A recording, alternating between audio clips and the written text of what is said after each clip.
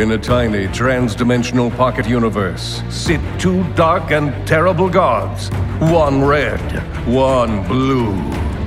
To amuse themselves, they kidnap great heroes from across time and space. And those heroes come from one company, Blizzard.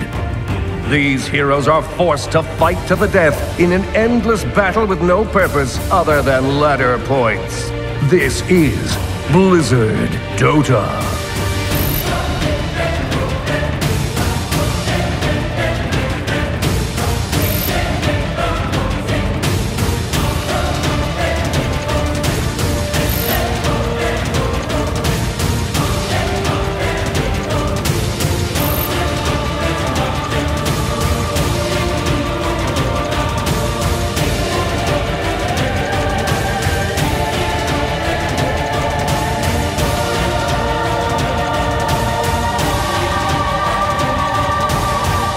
Seriously.